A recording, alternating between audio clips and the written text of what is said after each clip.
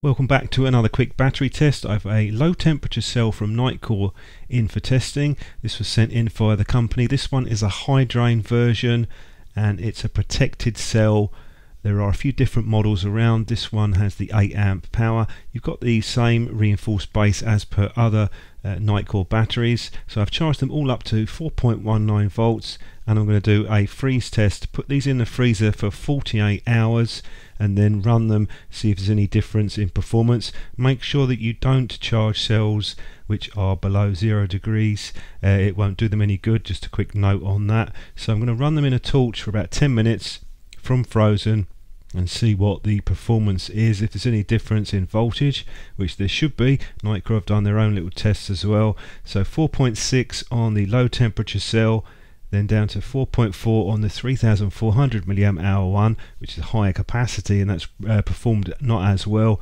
And the unprotected cells just under the 4 uh, volts. So it did seem to make a difference in terms of being frozen. I had two batteries in and both came in uh, just under the 2900 milliamp hours. So this could be an interesting choice if you're going to use that low temperature in other words below zero degrees for improved performance. So thanks for watching and I will catch up with you in my next video which is coming very soon